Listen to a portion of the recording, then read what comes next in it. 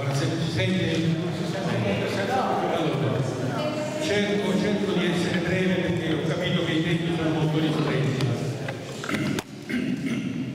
Come enunciato da chi mi ha preceduto, è evidente che l'area in questione presenta un'alta percentuale di cittadini compresi nella fascia terza età, spesso titolari di redditi da pensione medio-bassi, condizioni di salute non ottimali, in buona parte privi di mezzi propri di locomozione e di conseguenza con serie difficoltà a raggiungere altri punti vendita, specialmente alimentari, a distanza maggiore dell'attuale.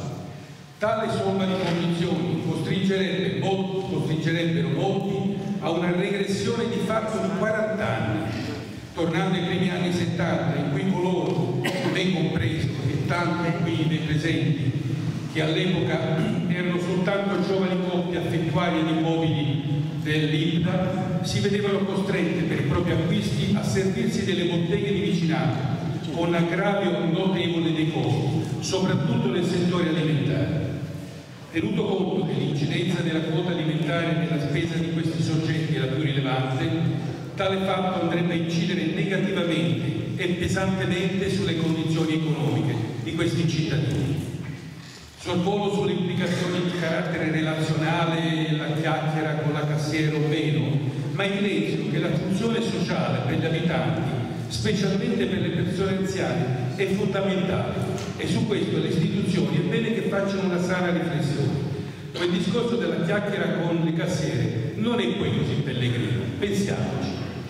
La chiusura dell'attività commerciale per un periodo di certo lungo a causa dell'evidente necessità di disbrigo di pratiche burocratiche per la riassegnazione comporterà sicuramente uno stato di abbandono della struttura nel suo complesso con il rischio più che evidente che l'area interessata possa essere soggetta a tutta una serie di problemi, quali intrusioni debite, ricovero per senza tetto abusivi, spacciatori e tutto. Inoltre, l'ampia area di parcheggio, ormai senza alcuna forma di controllo e pulizia, garantita finora da telecamere e da personale dell'Estruga, potrebbe diventare ricettacolo di ogni sorta di sudiciume, malaffare, prostituzione, spaccio, come anche luogo di aggregazione a carattere alcolico.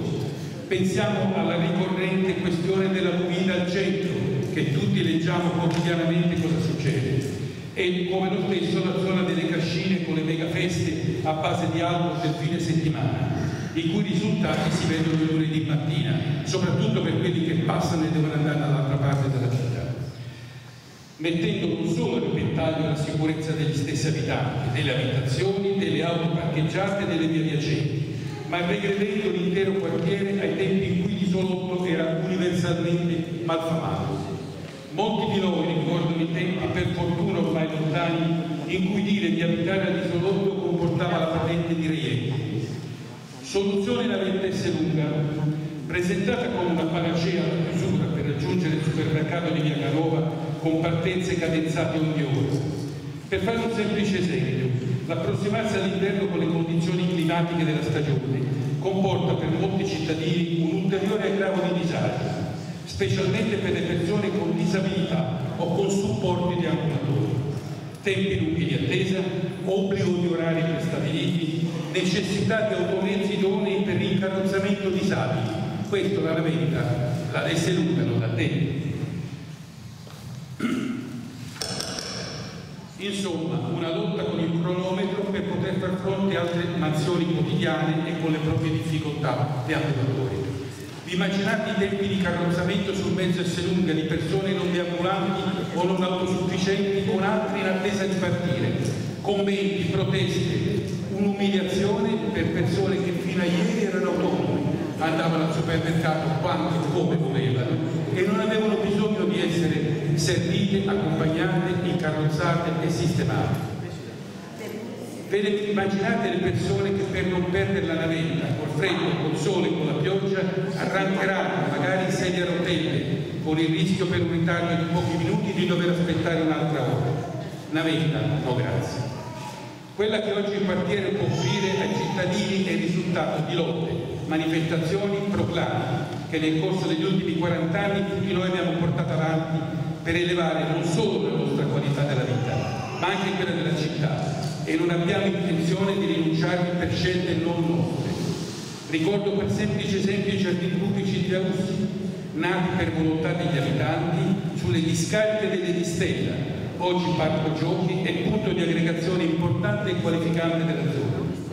La riqualificazione delle periferie, la lotta al degrado, si ottengono conservando e mantenendo quanto di buono esiste, specialmente quando oltre che utile è anche funzionale, non dismettendo i servizi.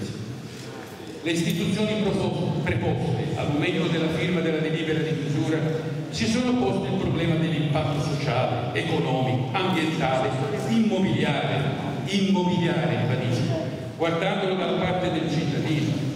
Riflettiamo sul fatto che la cessazione di un servizio rilevante come un supermercato comporta anche una dequalificazione dell'area e quindi un deprezzamento del valore degli immobili, con danno generalizzato che ricade su tutti i proprietari di case, utilizzatori e non del supermercato. Russo il tempo, scusate. Tempo? Dicevo, bisogna... Sì, sì, ho finito. Pertanto invitiamo le istituzioni, in primo luogo il Comune, a farsi parte dirigente nel verificare la possibilità di mantenere questo servizio nel rispetto degli impegni presi con i cittadini e nell'ottica della tutela dei più deboli. Grazie.